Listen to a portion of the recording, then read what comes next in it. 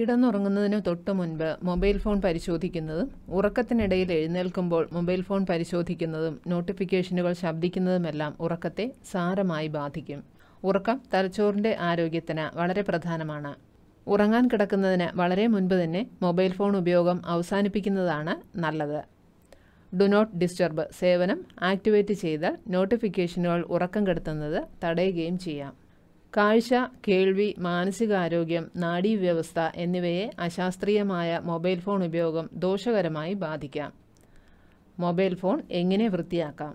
Mobile ഫോണുകൾ രോഗാണുക്കളുടെ വിതരണ കേന്ദ്രമായി പ്രവർത്തിക്കുന്നു എന്നത് കൊറോണ വൈറസ് മഹാമാരിയുടെ സാഹചര്യത്തിൽ പ്രത്യേകം ശ്രദ്ധിക്കേണ്ടതാണ്.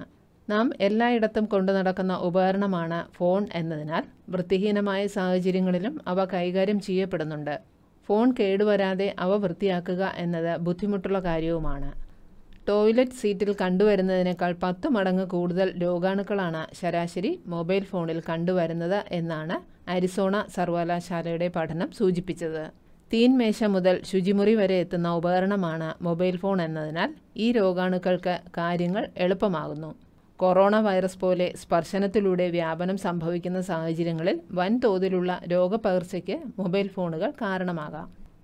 വാട്ടർ റെസിസ്റ്റന്റ് എന്ന് പരസ്യപ്പെടുത്തിയ ഫോണാണെങ്കിൽ പോലും അത് സോപ്പും വെള്ളവും ഉപയോഗിച്ച് കഴുകുന്നത് സുരക്ഷിതമല്ല. യാതൊരു തരത്തിലുമുള്ള ക്ലീനിംഗ് സൊല്യൂഷനിലും ഫോൺ മുക്കാനോ അവ ഫോണിൽ തളിക്കാനോ പാടില്ല.